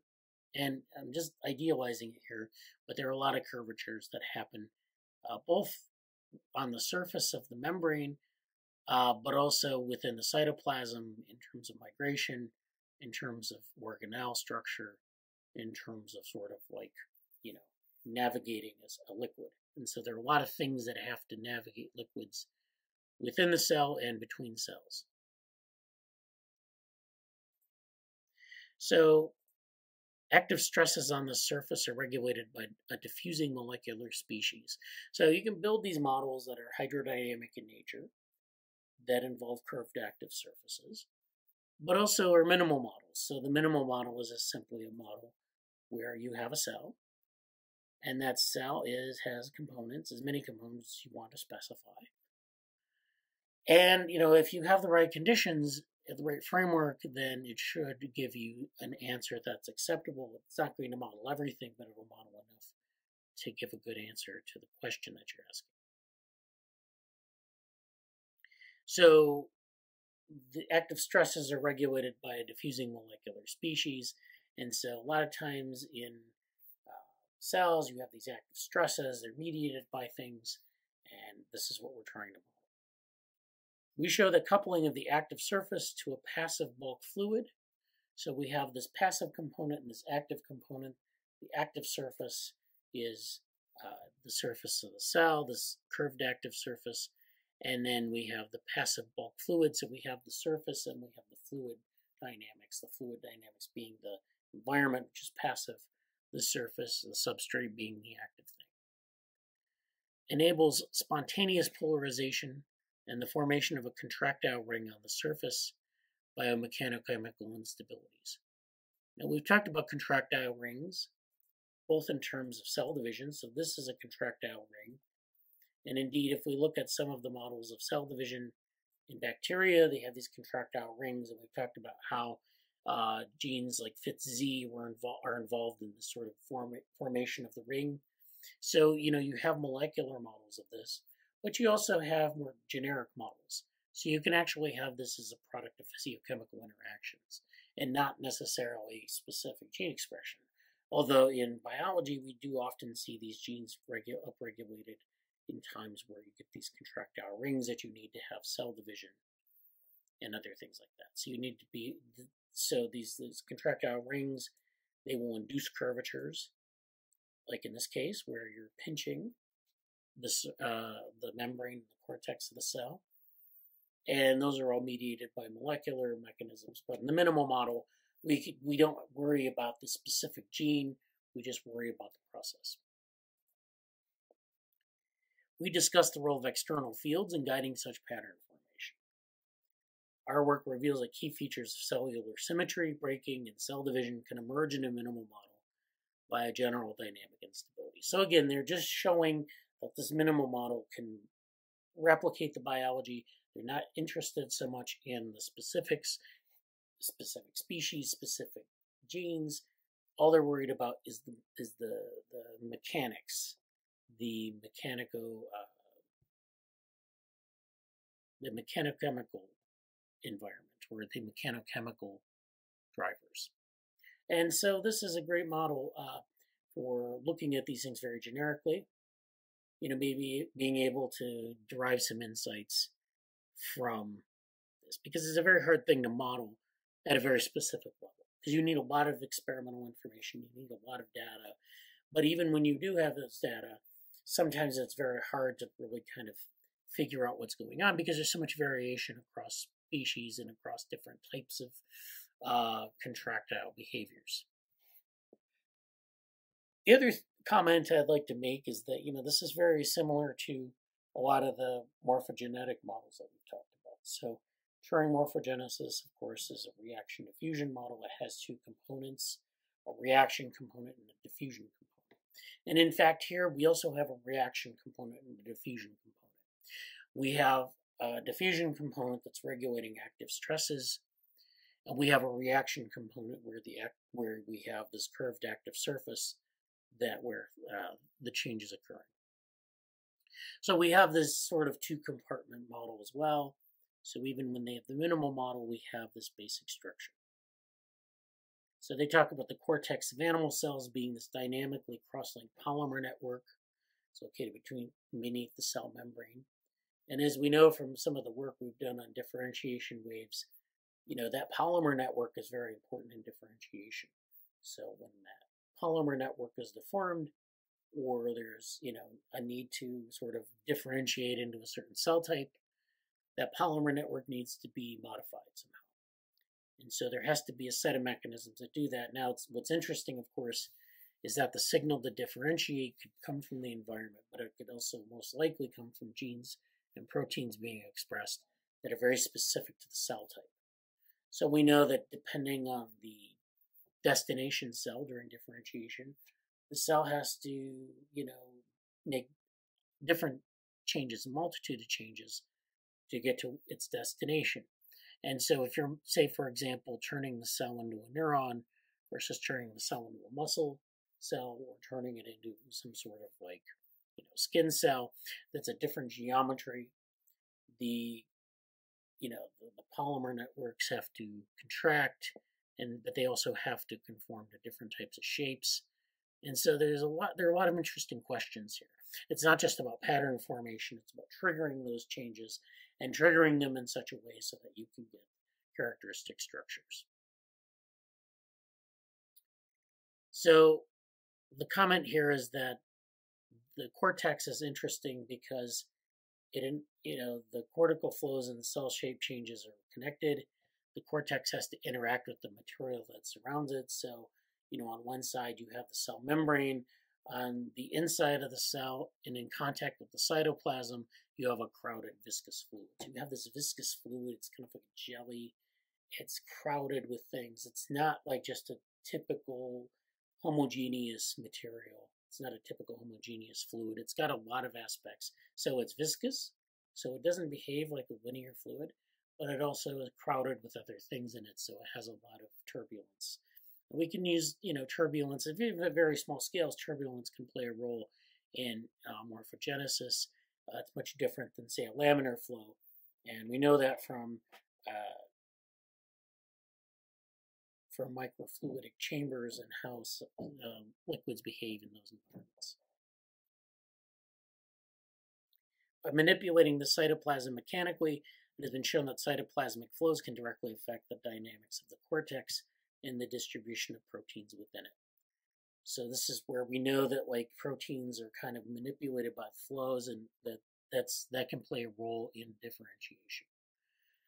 The reverse so this is one scenario. Now the reverse scenario in which active cortical flows set the cytoplasm fluid into motion has also been observed. So we have we have the cytoplasmic fluid, cortical flows, meaning the activity of the cortex can push cytoplasmic fluids into motion as they're contracting along with the membrane, and these contractile rings are acting, it can actually serve as a causal mechanism for cytoplasmic fluid flows. So this is all, you know, these are things that happen in the cell. We've observed them empirically. Now we have to model them.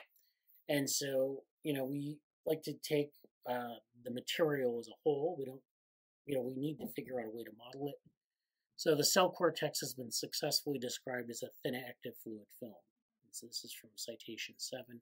So a thin active fluid film is uh, the sort of soft active material that behaves like a fluid but is also a film. Many aspects of the cortex's emergent dynamics can be accounted for by considering its generic mechanochemical organization, citation 8.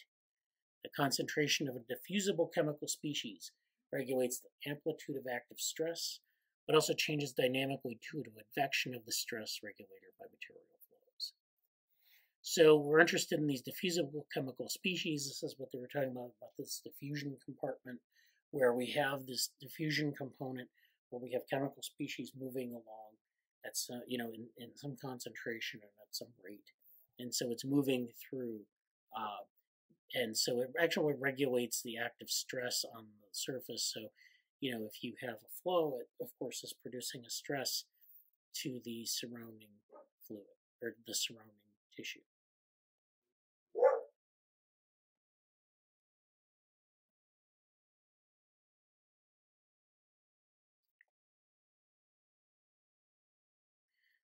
So in spontaneous pattern formation, uh, such as in active, self-organized active fluids, these have been studied on fixed domains, with and without substrate friction, and on deforming surfaces in an environment with a homogeneous pressure. So if we're looking at spontaneous pattern formation, we can look at this in a number of ways. And spontaneous pattern formation is, again, like this Turing reaction diffusion. We have the diffusion term in the compartment. Now we need a reaction compartment. And that's what we get with some of our, you know, what's going on with the surface. Whatever's going on on the surface is the reaction part. And with these, you know, with the substrate, we have the diffusion part. So the diffusing molecular species regulates active tension on the surface. And we show that coupling of the surface to the enclosed fluid gives rise to a hydrodynamic screening length that guides mechanical instabilities to generate well-defined patterns on the surface. These patterns can govern shape changes, so you can have these changes in shape, and which lead to maybe cell division or something else. And of course, because our cell is in a sphere, we can modify the shape of the cell, such as having an apical extension. We can also do things like form actual patterns, and that can be done in the same way. So this is a very generic model, but it also allows us to model a wide variety of symmetry breaking events. Okay, so that's that paper. Now I want to get to this other paper called Biological Hypercrystals, and this is in Journal of Physics. And uh, so this is a 20, 2023 paper. And so the abstract reads The notion of a biological hypercrystal can be regarded as a step towards a broader crystal notion. And so we talk about uh, soft active materials, and this is based on the idea of liquid crystal biology or liquid crystal dynamics uh, back from uh, who actually proposed this back in the 60s. And so this is, uh, you know, when I talk about crystals, I'm not talking about, you know, some sort of woo or you know, something that's fantastical. This is actually, uh, you know, something that we use as a metaphor, you know, that this biological system has these properties that behave like a liquid crystal type interface. So this is uh, a top, a very specific topic in physics that they're kind of talking about here. And they're, diff- you know, if we're familiar with liquid crystal TVs, we know that you can use this to uh, as a conductor. Um, but what we're going to talk about here are some aspects of soft active materials. In this contribution, I consider the geometry of cell patterns and tissues described in terms of Voronoi tessellations and cut-in project techniques. So we're talking about um, the geometry of cell patterns in Voronoi tessellation. So we're modeling it with a Voronoi tessellation and cut-in project, which is a, you know two different ways of doing modeling this. In this way, we realize that one, Voronoi tessellations early used in the description of atomic and molecular building blocks, distributions in QCs, which I guess are, um, are crystals, um, can be extended to describe the geometry of cell arrangements and tissues of biological interest. And two, the recourse to higher dimensional spaces can be fruitfully exploited to describe complex ordered designs in biological systems. So they're using this mathematical tool, physical tool, to describe some of these kind of systems and the pattern formation that occurs within them. So, you know, we're kind of, in this way, we're kind of looking at sort of the boundary between non-living systems like crystals and living systems like biological pattern formation. And so we're trying to explain these ordered designs or ordered patterns in complex biological systems and we can do so with this analogy of a crystal. And so this is uh, where they start here. They're talking about um, sort of in, in crystals or non-living ordered compounds where periodic order dominates. Most biological structures exhibit a gallery of hierarchically based structures ranging over several orders of magnitude and size. So, you know, instead of having these sort of periodic structures as you've seen in like different tilings or you might see in different types of inorganic compounds. Um, you see all sorts of different types of pattern formation in biological structures. They're hierarchical because we have these hierarchical systems that have a molecular basis that emerge as these sort of interactions between uh, cells and, and you know having tissues and things like that. So we have this hierarchical organization, vertical organization that results in these structures that range in different, you know, at different magnitudes. They also combine, so when you look at a pattern, it's aperiodic in the sense that there's different order at different spatial scales. So thus going from the macromolecular level to the full-size organism scale, we observe the emergence of novel structural designs at a given scale, which are not present at the scales below or above. So if you think about the route of cells to tissues to organs to organisms, you know, that structure isn't self-similar in this. It's self-similar, but it's not self-similar in a direct sense. So in other words, the organization of cells can be different than the organization of tissues. different the organization, of organs and organisms. So an organism looks very different than its component cells. It looks very different than its component tissues. There are a lot of things that are pattern formation at the organismal level that maybe isn't present at the cellular level or even at the tissue level. And that's because we have this hierarchical sort of a periodicity. Okay, so the presence of characteristic scale transformation in complex biological systems reminds the geometry of, or, or reminiscent of the geometry of fractal geometric patterns.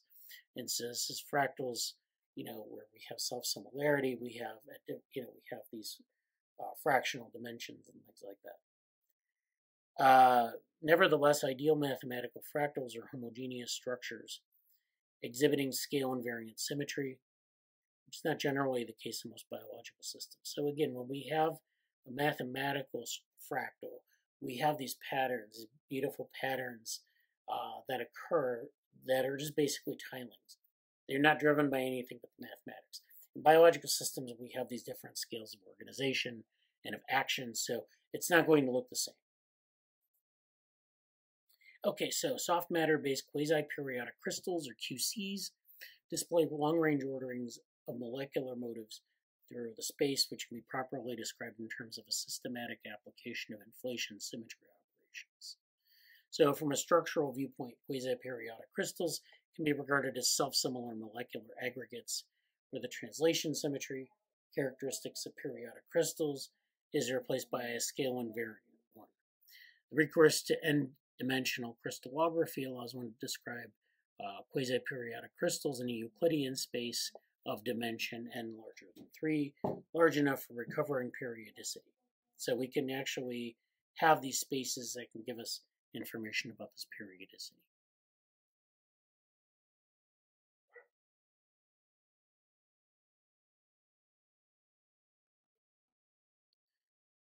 So the long-range quasi-periodic order present in QCs can be envisioned as a natural consequence of the incommensurate orientation between the periodic hyperlattice and the 3D physical space. So this is just where we have this sort of uh, ordering of the space, which is this sort of uh, sort of inactive aspect of it, or this passive aspect of it, and the active aspect, which is the periodic hyperlattice interacting with that physical space. Thus, hypercrystal would probably be a more appropriate term for condensed matter phases, which can be described in terms of projections from a higher dimensional geometric space. And so in this contribution, we illustrate the hypercrystal notion and the study of the geometrical arrangements of cells and tissues of biological interest, which can be properly described making use of general cut and project techniques, originally introduced in the study of atomic and molecular quasi-periodic crystals.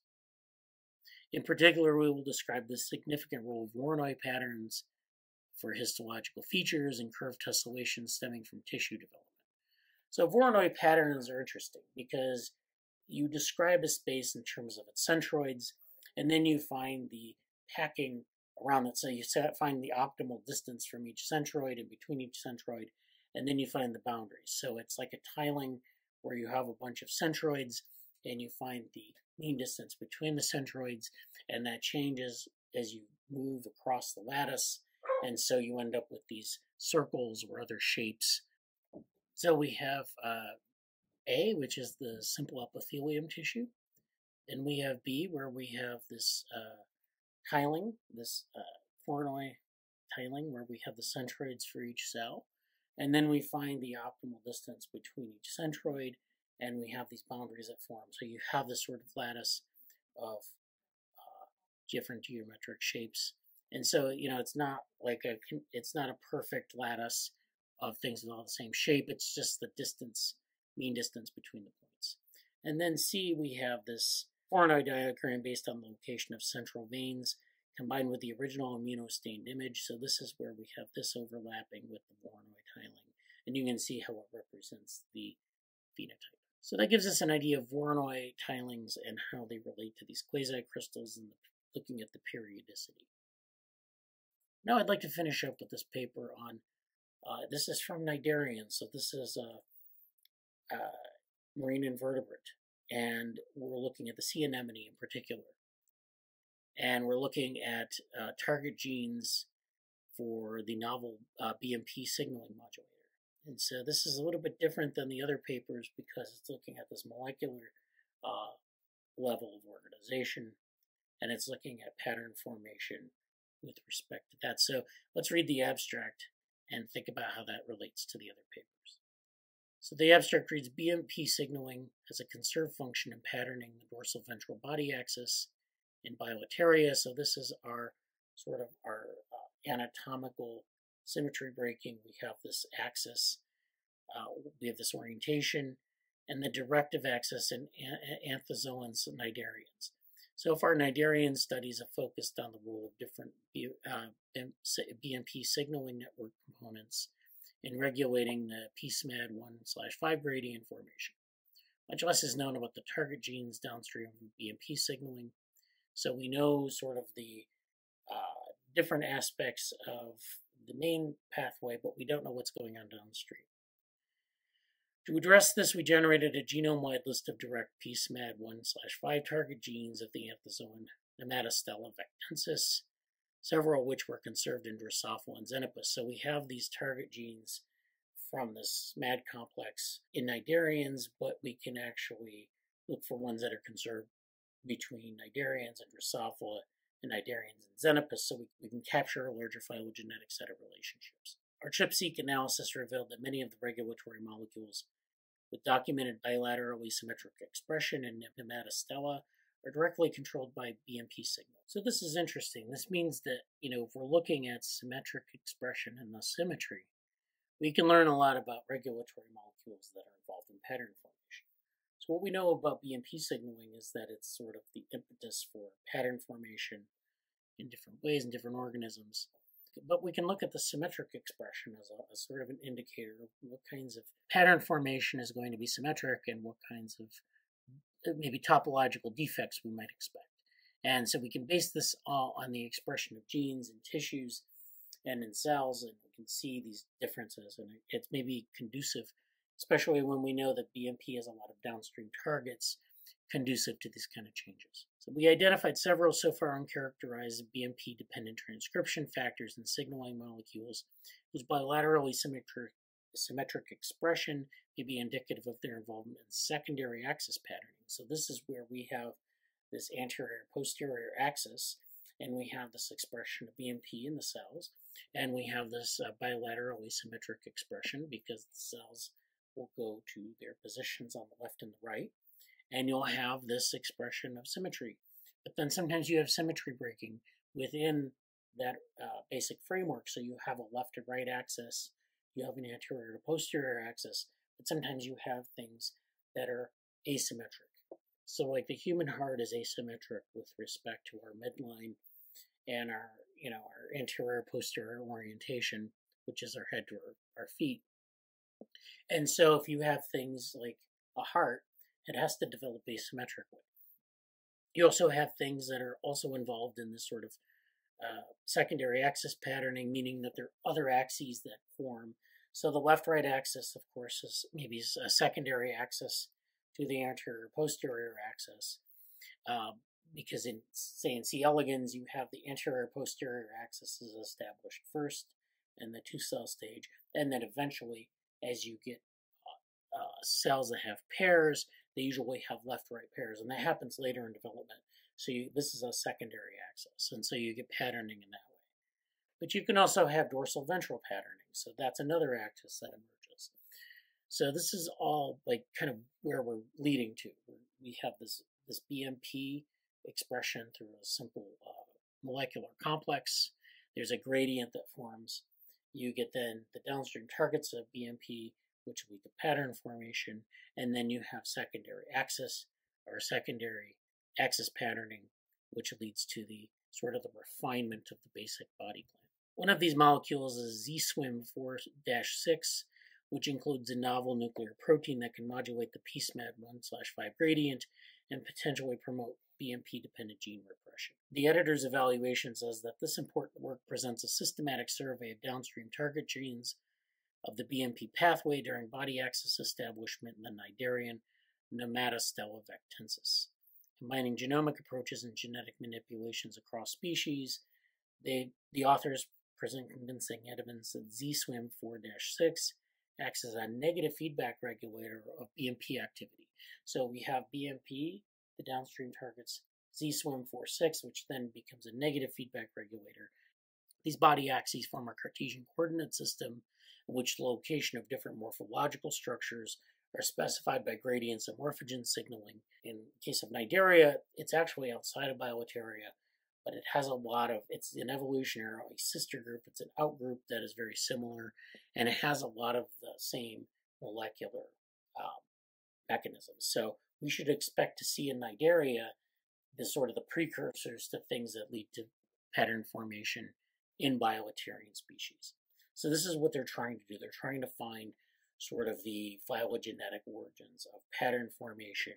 And I think taken with the other papers, I think it has a good explanation of the sort of multi-range or multi-scale pattern formation and some of the mechanisms behind it, both physical and. So thanks for paying attention and hope you learned something.